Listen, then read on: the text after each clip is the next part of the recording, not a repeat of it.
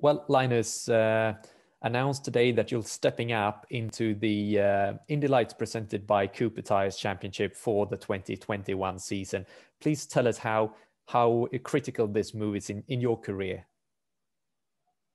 I mean, firstly, I'm just super happy to be able to to have this announced and have it official because obviously it's been it's been a lot of hard work behind the scenes and uh, during the the off well the winter break and as it usually is, and and for most drivers during the winter. So, firstly, super happy to have it announced, and then I'm so excited to get this going. Um, I mean, a championship like Indy Lights, and with the previous names racing in it and winning in it, you know, uh, the target is to be one of those as well you're now entering the uh, the IndyCar arena, if you like, in the in the top tier of the Road to Indy series.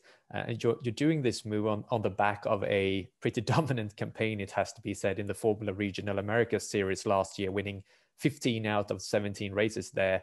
Um, now, please take us through how how you've been working during the winter to actually formalize this program that, that you're now announcing. Yeah, like I said before, obviously it's been a lot of hard work, but I I've been fortunate enough when we won the championship. Uh, we also won the the Honda or the HPD scholarship uh, that is helping me progress to towards Indy Lights and giving me a good good foundation. And then obviously um, a lot of hard work has been been focused on um, finding the right team because obviously we want to be in to fight for a championship. And then uh, we found a, a team that I'm very confident and comfortable with. So um, I believe that we're going to do great things together and obviously focus on the on the sponsorship side as well and trying to to make everything work.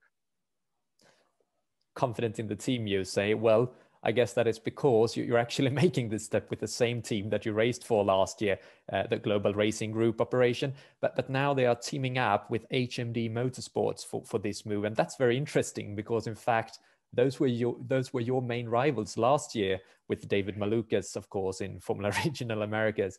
You will now be racing side by side with Benjamin Pedersen, also part of the team currently, and uh, a fourth car ex- uh, expected to be announced shortly as well. So um, how important is it to to be making this move with a group of people that you know, uh, albeit in this new constellation with HMD? I think obviously there are some people that I'm I'm gonna know, uh, but there's gonna be a few new faces as well from from the HMD guys, and I think it's great to see the the combination of the two. Uh, where obviously I'm I'm very comfortable and have the experience with with global, uh, but then obviously with the Indy Lights experience guys from from HMD, I think uh, it's to be a good dynamic, and I'm really looking forward to it. And the vibe that I'm getting from the team so far is is just positive. So I think we're all stoked and all super excited and ready to uh, to get going, and hopefully we'll uh, we'll we'll be able to fight for a championship. That's going to be the target for us and you've already conducted some some testing with the team over the winter in the Indy Lights car. Uh, what what can you make? What, what did you make from that test, and what was the car like to drive? I mean, the the first initial reaction was just pure joy. To be honest, I mean, it's such an incredible car and um, very different to to what I raced last year in the regional car. Because um, this car, it's got a lot more power, a lot more downforce. It's actually lighter than uh, than the previous car, so um, a lot of new things, um, and it took a, some laps to to get adapted to. But at the end of the day, I mean, I think we're we ended up in a pretty pretty comfortable positions and well position. So uh, I think just going forward, we're going to work on setups and obviously trying to make me as comfortable as I can. But I think uh, it was just an awesome car to drive, and obviously it's really quick. Yeah, and now you're you're moving on to the the IndyCar arena with all ten rounds of of the Indy Light Series this year forming part of the IndyCar support schedule.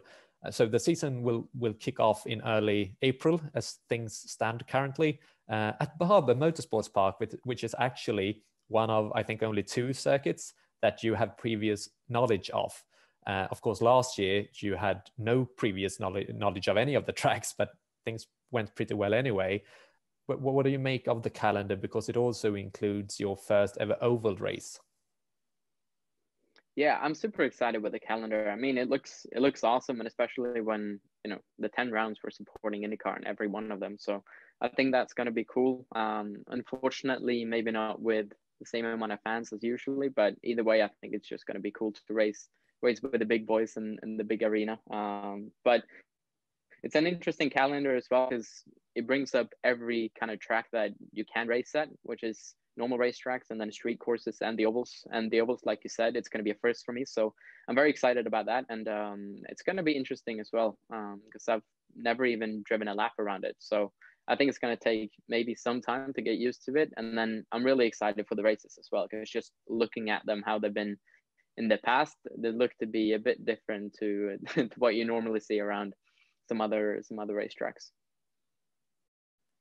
There is also a very significant prize package in Indy Lights, uh, being the top rung of the Road to Indy career ladder, of course, uh, which includes for the champion uh, three guaranteed starts in the 2022 IndyCar Series, including the Blue Ribbon Indy 500.